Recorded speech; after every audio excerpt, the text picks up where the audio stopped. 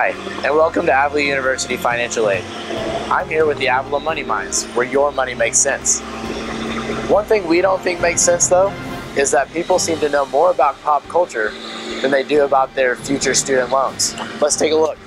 So, who were the two teams that were in the World Series this last year? San Francisco and the Royals. Yay, Good. Royals. Good.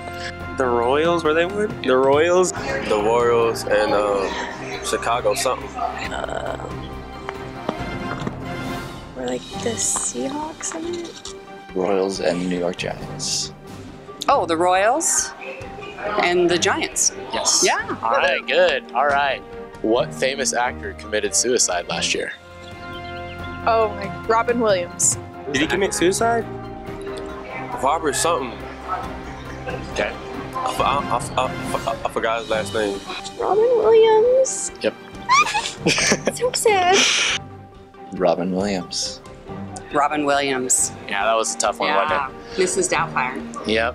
Yep. Now, what was the Ice Bucket Challenge raising awareness for? ALS. Nice. Pain. Breast cancer? I have no clue. No clue. I just saw people dumping ice on themselves. ALS. Nice.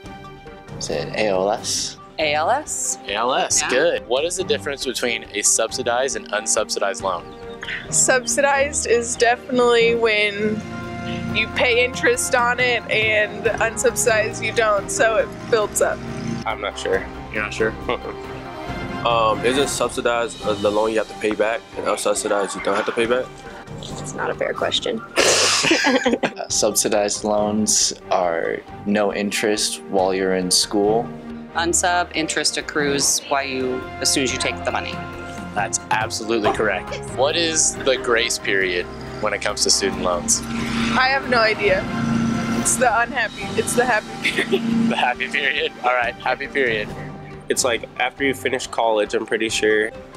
I have no clue. No clue? Am I supposed to know these things? Oh, there's like a period of time when you won't get penalized. Uh, grace period is essentially a time after you graduate that you are allowed to not pay on your student loans. And I think it's six months. That's correct. Now, the last question I have is what does it mean to default on a student loan? to not pay it. To say you don't want it. I haven't got one question right. I, I don't know. Not a clue. means to not pay it back. Means to not pay. Quit paying for your student loans, right? You betcha. Are you or someone you know suffering from financial literacy deprivation? That is, are you unaware of what deferment or default means in accordance to your student loans?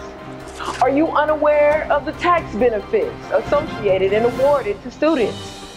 And at $400, are you prepared to take care of the standard repayment amount? Yes? No? Maybe so. Well, that's why we're here. We're the Avila Money Minds, and it's our mission to help you feel confident about taking care of your post graduation financial responsibilities.